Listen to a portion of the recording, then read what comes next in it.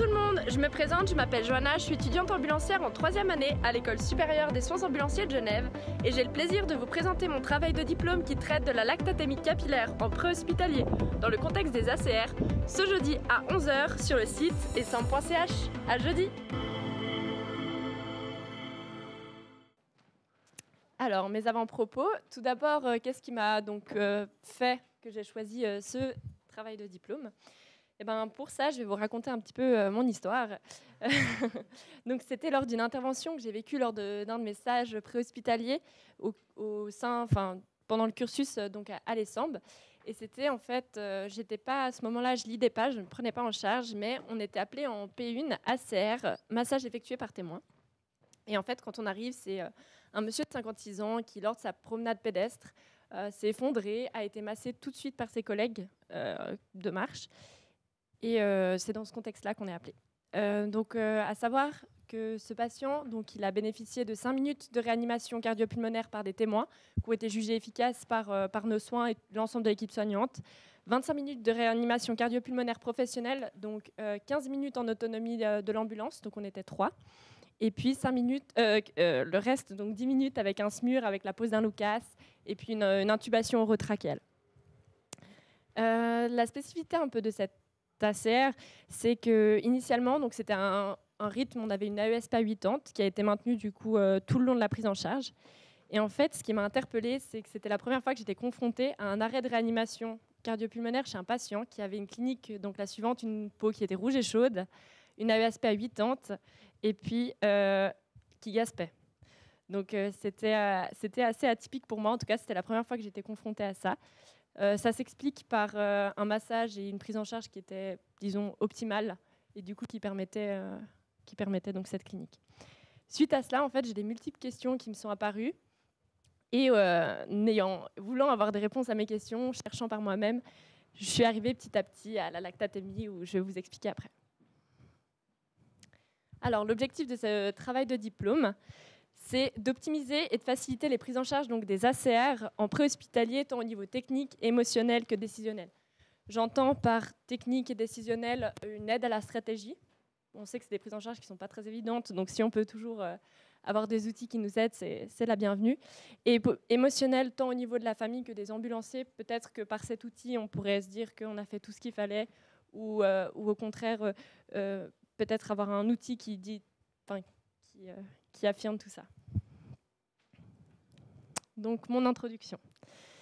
Quand on parle d'ACR, c'est inévitable, on est obligé de parler de mort. Et euh, c'est quelque chose de pas évident et auquel on est souvent confronté, en tous les cas, dans, notre profession ambulancier ou médecin dans le préhospitalier. Et avec ce, principe de, mort, souvent dans, dans, des situations comme ça, on est, en tout cas en tant qu'ambulancier, on est souvent confronté à des prises de décisions thérapeutiques qui ne sont pas évidentes, dans des situations aiguës. Et du coup, c'est pour ça que, je vais vous parler de l'arrêt de réanimation cardiopulmonaire qui fait partie de ces décisions thérapeutiques peu évidentes. Euh, l'arrêt de décision donc, euh, de réanimation cardiopulmonaire, elle est, disons, euh, on a des, principes qui nous aident et qui régissent un peu cette décision thérapeutique. Donc ces principes, c'est les principes éthiques que vous voyez qui sont affichés ici. Je vais les survoler parce que je trouve qu'ils sont assez exhaustifs dans leur appellation. Donc on a le principe d'autonomie du patient qui incombe le fait que le patient est au centre de ses décisions thérapeutiques, peu importe le choix de l'ambulancier ou, ou en tout cas de, la personne qui le prend en charge. Euh, principe de bienfaisance, donc c'est quand on va pondérer le risque-bénéfice au choix du bénéfice pour nos décisions thérapeutiques. Le principe de non-malfaisance, premièrement, ne pas nuire. Euh, principe de justice et d'égalité, je trouve face aux soins, c'est quelque chose de très exhaustif, mais simplement dire qu'on doit être tous égaux face aux décisions thérapeutiques qui sont prises et le principe de futilité médicale et acharnement thérapeutique ont des définitions claires, mais qui sont souvent assez controversées euh, parce qu'il y a un regard très subjectif euh, sur la situation. Donc c'est des principes que je mentionne parce qu'ils sont à appliquer dans leur totalité, mais la subtilité, c'est qu'ils sont à contextualiser au cas par cas.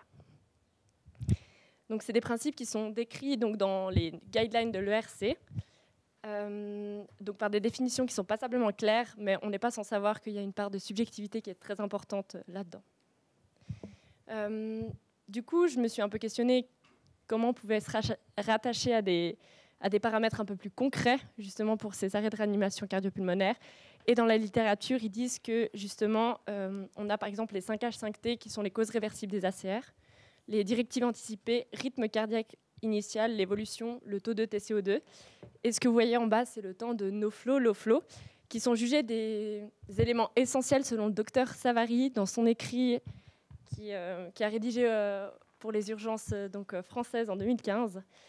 Et donc le temps de no flow, low flow, je pense que vous êtes tous sans savoir, no flow, c'est le temps euh, d'un pas de débit cardiaque.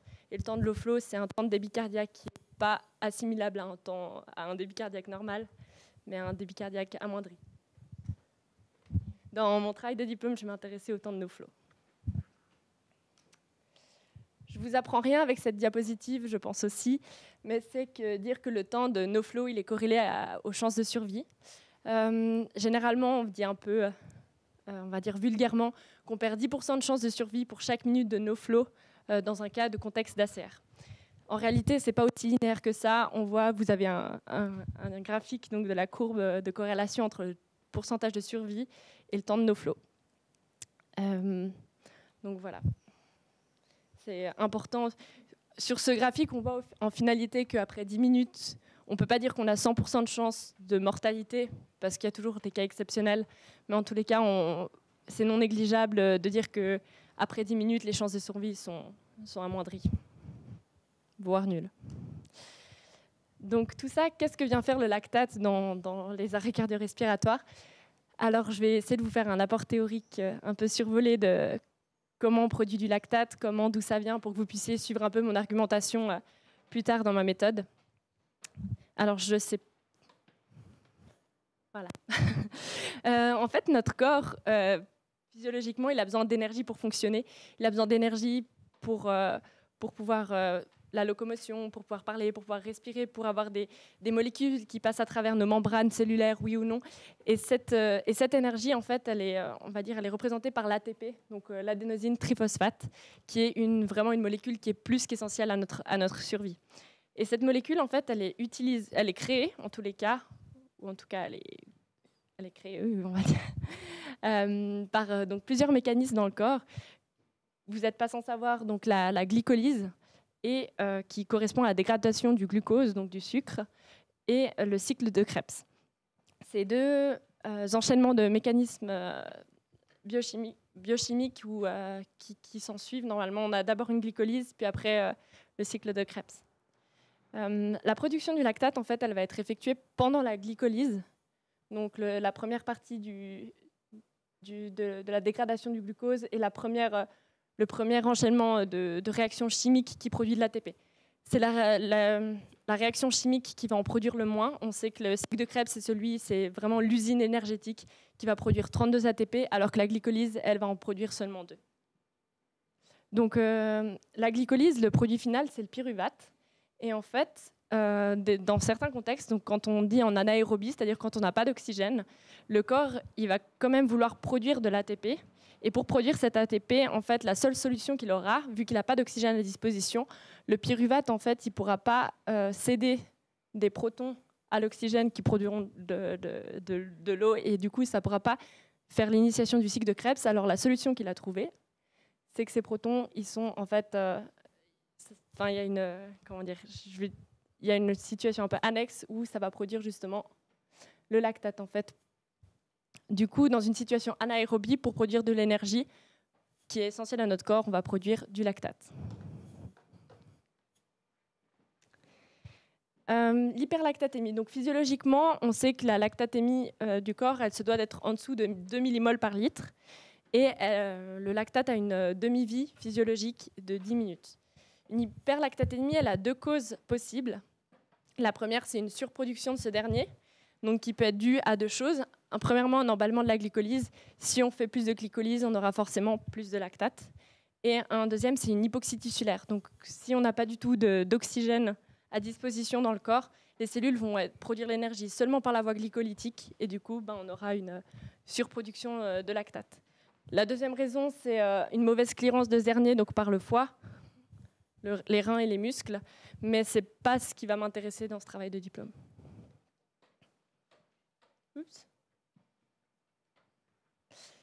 Euh, vous verrez plus loin, je vais vous parler de la lactatémie capillaire euh, en préhospitalier. Pour faire une petite, euh, juste une petite aparté, je vous expliquerai pourquoi capillaire après. À savoir que c'est un geste technique qui est totalement semblable et transposable en fait à la prise de la glycémie. À savoir que dans, le, dans notre formation ambulancière en Suisse, ce geste technique est enseigné dès la première année et considéré comme sûr, efficace et totalement maîtrisé. Donc voilà, on a tous la délégation en tous les cas en Suisse. Et euh, je me suis posé la question aussi s'il y avait des lecteurs de lactatémie capillaire déjà, c'est assez, important. Et en fait, il en existe, euh, plusieurs. Et même, euh, je me suis posé la question s'ils étaient adaptés au, système préhospitalier. Grâce donc au, au, TD de Michael Rollet, qui, qui, fait partie de Azure. Donc, euh, j'ai pu ressortir euh, le lecteur de lactatémie Starstrip Express, en fait, qui répond à des contraintes du préhospitalier. Dans son travail de diplôme, il a fait une analyse et une comparaison de. Euh, tous les lecteurs de lactatémie possibles en Suisse qui répondraient potentiellement au préhospitalier. Et c'est celui qui répond le plus aux contraintes. Donc il y a 25 contraintes qui ont été investiguées et il en répond à 24 des contraintes, que ce soit la dimension, le tarif, la fiabilité, il a pris en compte euh, plein, de, paramètres. Donc du coup, suite à ça, je peux dire qu'il n'y a aucune contrainte, en tous les cas, euh, euh, de fiabilité, de faisabilité, pardon, de la mise en place du geste technique et de la mesure de la lactatémie capillaire. Donc mon introduction, pour suivre un petit peu mon raisonnement, comment je suis arrivée à ma problématique de soins. Et avec tout ce que je vous expliquais, on sait que dans les arrêts cardio-respiratoires, on n'a pas de perfusion sanguine. Quand on n'a pas de perfusion sanguine, du coup, on n'a pas d'oxygène qui arrive au niveau cellulaire. Et du coup, on a une utilisation de la voie anaérobie pour la production de l'adénosine triphosphate, l'énergie qui est essentielle au corps. Du coup, ça, ça va induire une hyperutilisation seule de la voie glycolytique. Pas seulement, mais une hyperutilisation de la voie glycolytique et donc une surproduction de lactate, une hyperlactatémie et donc une acidose métabolique. Et en fait, au final, avec cette, réflexion, je me suis demandé si cette hyperlactatémie finale, elle pouvait être proportionnelle et corrélée à l'importance de l'hypoperfusion générale euh, dans les cas d'ACR. Dans le sens, si on a beaucoup de temps d'ACR, on a beaucoup de temps de, de fois où on utilise la voie glycolytique, du coup beaucoup plus de production de lactate, est-ce qu'il n'y aurait pas une corrélation? D'où ma question de recherche que j'ai rédigée avec la méthode PICO, donc, euh, je vous la lis, elle est un peu assez spécifique. Euh, la lactatémie capillaire, une aide décisionnelle fiable pour l'arrêt non-initiation de la réanimation cardio-pulmonaire chez les patients de plus de 18 ans en ACR, en préhospitalier, hors ACR, dont l'étiologie est l'hypothermie. Je vais un peu préciser pourquoi j'ai été aussi spécifique. Euh, déjà, j'ai choisi de faire une utilisation de la lactatémie capillaire pour la première raison que les ambulanciers ont déjà cette délégation médicale et que sur un, dans un contexte et une prise en charge euh, d'arrêt cardio-respiratoire, je pense que c'est la, première nécessité, c'est pas de retarder les gestes thérapeutiques et on sait qu'une mesure capillaire, ça, prendra moins de 30 secondes. Donc du coup, d'où ma décision de choisir la lactatémie capillaire, avec tous les inconvénients qui, qui vont aussi avec. Euh, j'ai choisi aussi d'exclure donc les patients qui ont moins de 18 ans, tout ce qu'on pourrait considérer comme de la pédiatrie, parce qu'ils ont un mécanisme donc, euh, de la voie glycolytique en anaérobie qui n'est pas, euh, comment dire, je, trouve, je perds mes mots, qui n'est pas mature. Et du coup, en fait, il n'y aura pas le même fonctionnement qu'un mécanisme adulte. Et en plus de ça, il y a plus de principes éthiques qui vont s'ajouter. Les arrêts de non, enfin les arrêts la, la prise de décision d'un arrêt d'une réanimation cardiopulmonaire, souvent en pédiatrie, elle ne sera pas prise en préhospitalier. Ce sera pris en hospitalier pour offrir un plateau technique euh, adéquat à la famille parce que c'est des prises en charge qui sont euh, considérées davantage violentes que des arrêts cardio-respiratoires, disons chez des patients plus âgés. Euh, j'ai choisi aussi d'exclure l'hypothermie parce que on sait que l'hypothermie, en fait, ça va ralentir le mécanisme. Quand on ralentit le mécanisme, on ralentit donc la demande en, énergie, la demande en sucre. Et du coup, ben, on n'aura pas une, disons, une production de lactate corrélée à la production d'énergie, vu que celle-ci sera ralentie. Donc, pour essayer d'être le plus spécifique et le plus juste possible, je me suis permise euh, d'exclure euh, ce type d'arrêt cardio-respiratoire. Donc, ma méthode de recherche, euh, il y a eu un peu deux phases dans ma méthode de recherche. La première, ça a été donc, c'est vrai qu'on mentionne le lactate, la lactatémie à l'ESAMB, mais c'est pas quelque chose qui est forcément très approfondi. Du coup, j'ai dû faire passablement de recherches dans la littérature scientifique euh, pour moi parfaire mes, connaissances, que ce soit donc au niveau physiologie, chimique, statistique. Et, voilà, c'est déjà pas mal. et, donc la deuxième partie de ma méthode de recherche, ça a été une revue de littérature. comment j'ai procédé à cette revue de littérature? C'est encore une fois, ça a été encore une fois initié sur des, questionnements. En fait, je me suis posé plein de questions. Ces questions que j'ai triées par thème. Donc, comme vous pouvez les voir ici, c'est pas forcément important que, vous voyez. Ce sera par la suite, ce sera, mentionné. Mais euh, donc, j'ai trié par thème et avec ces thèmes, en fait, j'ai pu euh, euh, ressortir des mots clés, ressortir des mots, voilà, ressortir des mots clés. Et grâce à ces thèmes en fait et regroupement de ces questionnements, j'ai pu en fait rédiger donc des, hypothèses, des hypothèses pour mes questions de recherche. Euh, la première, c'était que la lactatémie capillaire, c'était une mesure médicalement fiable et qui pouvait remplacer la mesure donc, de la lactatémie artérielle en préhospitalier dans le cadre des ACR.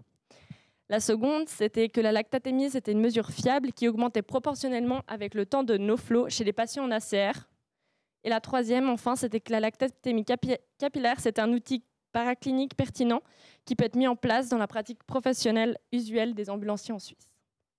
Donc, je vais essayer de répondre à d'infirmer ou d'affirmer ces, hypothèses par la suite. Donc, euh, pour ça, j'ai euh, utilisé donc euh, les outils suivants PubMed, Google Scholar, Medscape. J'ai eu une revue de littérature qui était complètement en anglais, donc j'ai eu l'aide d'un traducteur. Euh, et puis euh, j'ai aussi utilisé donc toute la littérature scientifique, que ce soit des livres d'anatomie, euh, de, chimie, biochimie. Alors comment j'ai fait ma littérature? Comme je vous ai dit, grâce à mes hypothèses, grâce à mes regroupements de questionnements, j'ai pu effectuer des mots-clés, des mots-clés que j'ai traduits soit par mes soins, soit grâce à un traducteur. Et puis grâce à ça, grâce au, outils que je vous ai mentionnés avant, j'ai pu trouver des études. J'ai lu à peu près entre une vingtaine et une trentaine d'études, et sur ces, 20 et, entre, enfin, sur ces vingtaines d'études, j'en ai retenu 9 pour mon travail de diplôme que je vais vous mentionner en tous les cas, et dont 6 dont les résultats seront présentés dans mon travail de diplôme plus, euh, plus approfondi. Pour avoir euh, une analyse un peu plus spécifique, euh, j'ai en fait réalisé un tableau que vous voyez présent ici pour chaque étude qui s'organisait de la sorte. J'associais un numéro à l'étude, en question. Ensuite, je présentais le titre. J'avais une description brève donc, de l'étude, que ce soit au niveau des objectifs, la méthode, les résultats et la conclusion de cette dernière. Les mots-clés que j'avais utilisés pour chercher l'étude, euh, les limites majeures et les points positifs de cette étude, le type que c'était, et enfin un niveau de preuve que j'ai euh, évalué suite au, avec le tableau que vous pouvez donc euh, juste voir, juste voir à côté pour euh, savoir si c'était euh, donc des études avec des preuves scientifiques établies, plutôt des présomptions scientifiques, ou si c'était vraiment un niveau de preuve scientifique qui était euh, non, non utilisable. à savoir que dans mes, donc pour toutes les études que j'ai analysées, le maximum de niveau que j'ai eu, c'était le niveau 2, et c'était des présomptions scientifiques. Alors, mes résultats. Dans la première étude, donc c'est le numéro que j'ai associé moi à, cette étude, qui traite donc de la corrélation entre euh, la lactatémie veineuse et la lactatémie artérielle. Je ne sais pas si vous pouvez voir, euh, il y a une tendance géographique donc, qui est assez linéaire, dire qu'il y a une corrélation qui est plutôt importante. Le trait, ça serait une corrélation parfaite. Il y a un coefficient de corrélation, donc R, à 0,94 avec un intervalle de confiance à 95%.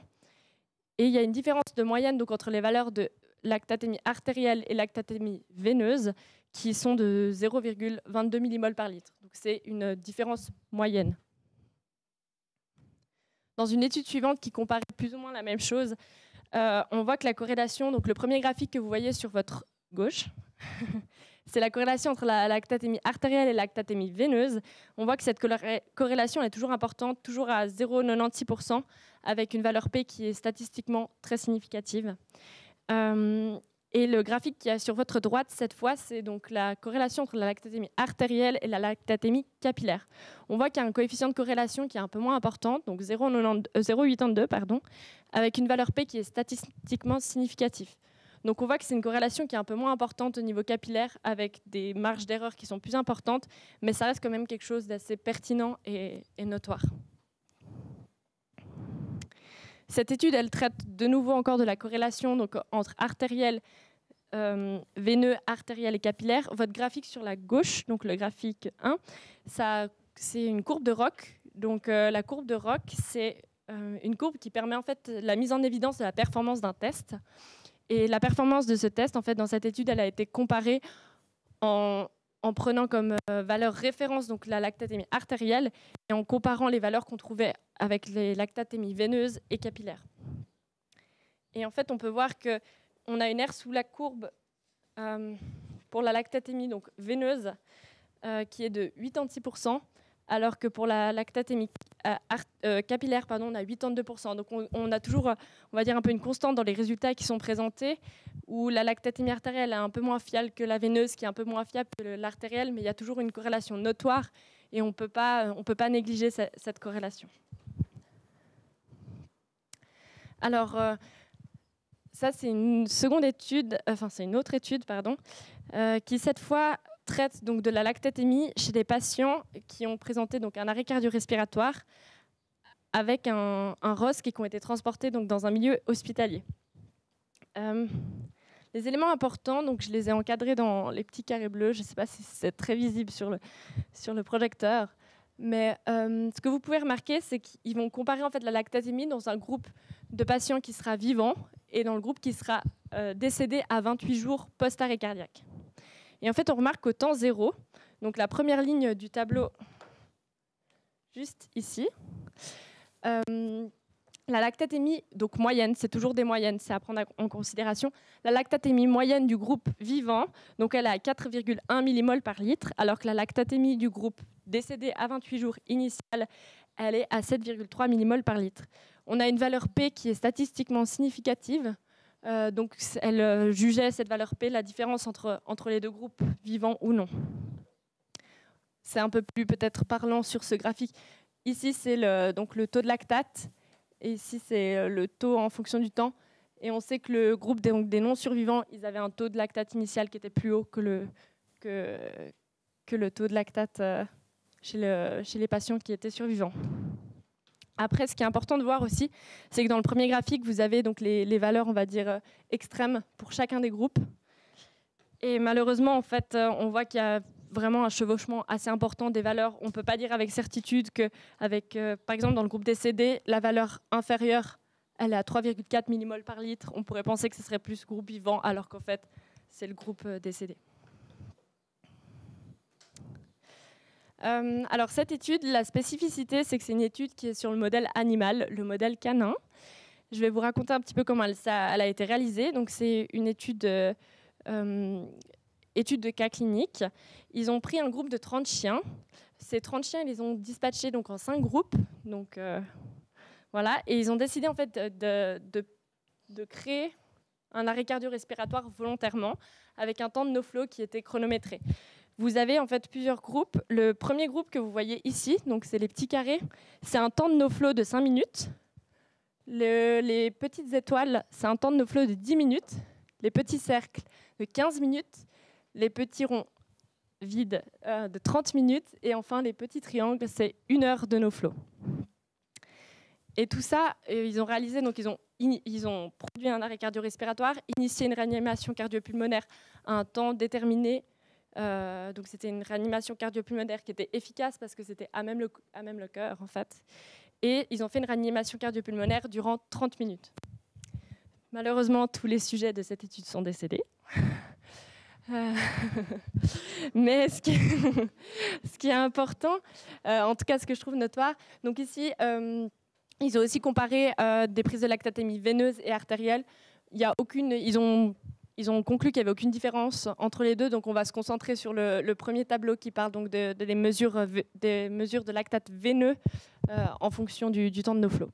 Et en fait, ce qui est assez intéressant, c'est que ici vous avez le, groupe donc sur la première ligne du tableau, euh, donc le groupe d'un temps de no flow de 5 minutes, en dessous 10 minutes, et en fait au temps Ici, c'est 5 minutes de réanimation cardiopulmonaire, 10 minutes de réanimation cardiopulmonaire, 15 minutes, 20, 25, 30. Et en fait, on remarque qu'initialement, donc à 5 minutes de réanimation cardio-pulmonaire, on, observe en tous les cas une corrélation entre plus le temps de nos flots augmente, plus la, la lactatémie augmente. On voit que ça fait donc 7,1, 8,7, 9,6 et, et ainsi de suite. Et ce qui est aussi un autre élément assez intéressant de regarder, c'est qu'il n'y a pas de, de, différence statistiquement significative de la lactatémie au cours de la réanimation cardio-pulmonaire. C'est-à-dire que si on prend la lactatémie entre 30 minutes de RCP et 5 minutes de RCP, elle reste statistiquement identique. En tous les cas, euh, acceptablement statistiquement identique. Euh, petit aparté, c'est que les résultats qui ont une petite arabesque euh, entre eux, c'est des résultats dont la, dont la valeur P, donc la différence en corrélation avec le temps n'est pas statistiquement significative. Ce qui est un de mes limites de, mon travail, c'est que dans cette étude, en fait, ils ont pu prouver qu'il y avait une corrélation entre l'augmentation de la lactatémie et le temps de nos flots que pour des valeurs qui étaient extrêmes. Donc 30 minutes de nos flots, 60 minutes de nos flots. Pour les temps de nos flots qui étaient courts, et eh ben, malheureusement, ils n'ont pas pu prouver enfin, statistiquement qu'il y avait une corrélation. Ça, ça peut être dû au fait du manque de sujets, euh, il y a plusieurs facteurs qui rentrent en compte. Enfin, j'ai retenu aussi deux autres études pour, euh, pour mon, travail de diplôme. La première aurait été très intéressante, euh, mais malheureusement, en fait, j'ai pas pu trouver euh, donc les résultats de cette étude. C'est l'étude PROLAC qui a été réalisée donc par un médecin du CHU de Nice et qui qui vraiment, comme, comme l'on l'indique, voulait tester donc la lactatémie veineuse dans les ACR pour déterminer donc la possibilité de retrouver une, activité cardiaque spontanée. J'ai relancé à plusieurs reprises euh, des personnes donc, euh, qui étaient chargées de communication pour le CHU de Nice. J'ai pas eu de retour et j'ai pas retrouvé donc, des résultats euh, de cette étude qui normalement devait se terminer en 2019. Donc voilà.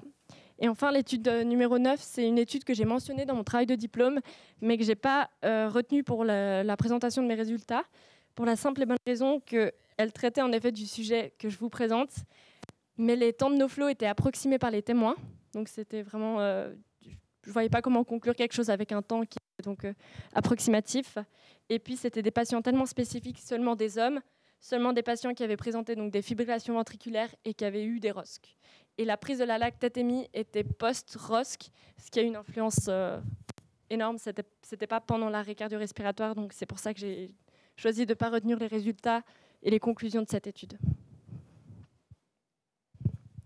Donc euh, pour ma discussion, je vais reprendre hypothèse par hypothèse pour essayer d'être le plus clair possible.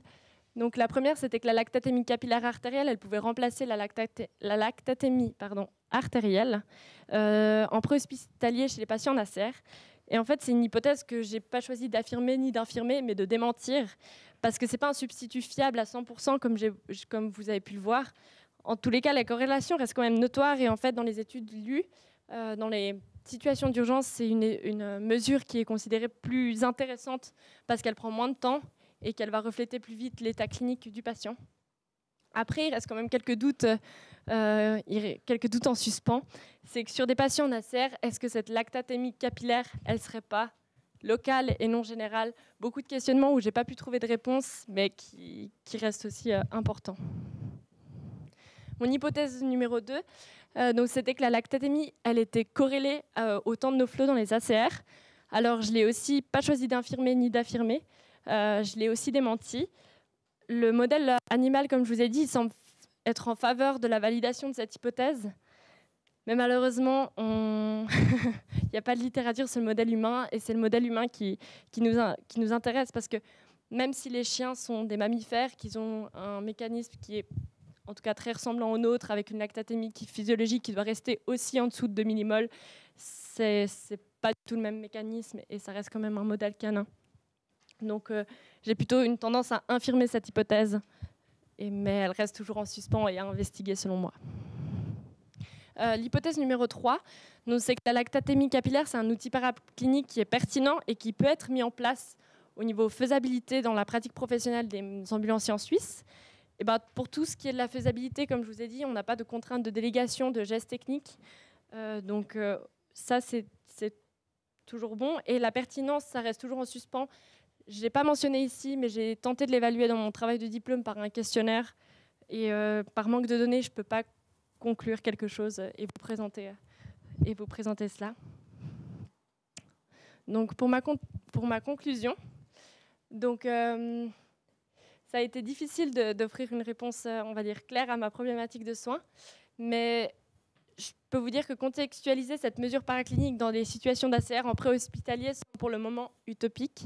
Euh, ça pourrait être intéressant et ça reste quelque chose à investiguer je pense qu'il n'est pas dénué de sens, mais euh, qui est pour l'instant utopique avec beaucoup trop de paramètres qui rentrent en compte, des limites et euh, tout ce qui va avec. Les pistes d'amélioration, en fait, pour limiter au maximum les, bah, les limites de mon travail, justement, ça serait de, en fait, de, faire, de réaliser une analyse enfin une étude de cas clinique pardon, prospective euh, dans un modèle euh, le plus proche de la réalité, euh, donc que ce soit sur un modèle humain en Suisse, en préhospitalier et par des, personnels, par les personnels, donc que ce soit ambulanciers ou médecins. les pistes d'amélioration, c'est plutôt en fait une limite, c'est un peu la, limite éthique, que ce soit sur le modèle humain ou animal, comme je vous ai dit, c'est c'est une question de recherche qui implique euh, donc la mort. Et donc avec la mort, comme je vous ai dit, beaucoup de principes éthiques. Et du coup, ça peut être une des limites euh, de ce travail. Et enfin, une amélioration, c'est peut-être euh, affiner encore davantage mes compétences statistiques pour vous offrir une analyse des résultats un peu plus pointue et puis un peu plus spécifique. Donc voilà. Est-ce que vous avez des questions? Ah, pardon, j'ai oublié les remerciements. donc, je remercie Valérie Vichet, qui a été donc ma tutrice pendant ce, travail. Euh, Michael Rollet qui a mis à disposition son travail de diplôme donc, euh, sur la lactatémie dans le cas des sepsis, et ça m'a été d'une grande aide. Euh, les médecins SMUR, donc je ne vous ai pas présenté, mais qui ont pris du temps pour répondre à un questionnaire. et enfin, tout mon entourage pour le soutien sans faille. Dieu sait qu'il en fait avec moi. et voilà. Donc merci de votre attention et je vous souhaite bon appétit. Après les questions.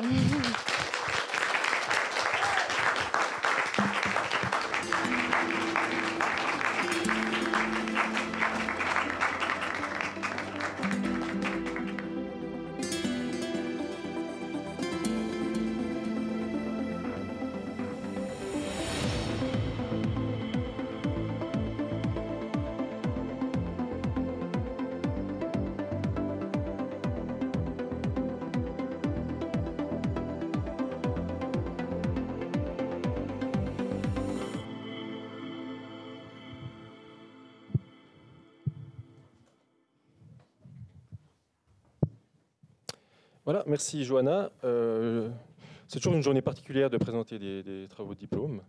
Et puis euh, voilà, c'est un exercice que tu as très bien réussi. Et puis en plus de ça, le jour de son anniversaire, c'est comme quelque chose de particulier. D'autant plus. Alors je vous demande euh, une ovation pour Johanna qui a son anniversaire aujourd'hui.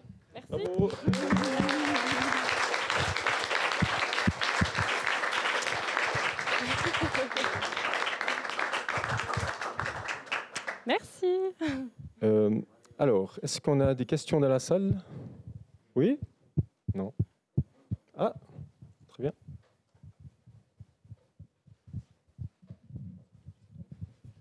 Euh, j'avais juste une question à propos du potassium. Est-ce que c'est aussi un moyen de déterminer euh, pour éviter de faire une raie ou pas, ou pour l'arrêter? Est-ce qu'il y a un moyen de le mesurer en préhospitalier de manière simple? Euh, alors oui, le potassium, en fait, c'est un biomarqueur qui est déjà utilisé donc, pour les arrêts de réanimation cardiopulmonaire dans les cas des avalanches, justement. Euh, dans le cas des ACR, c'est vrai que c'est une mesure qui, mérite d'être artérielle ou veineuse. Je, pense que c'est utilisé, euh, je, dis ça sans, être sûr de, mes propos, mais c'est une mesure qui doit être faite en hospitalier, mais en pré-hospitalier qui n'a jamais été mesurée, en tous les cas, dans le dans les, enfin, dans les prises en charge usuelles. Voilà. Merci.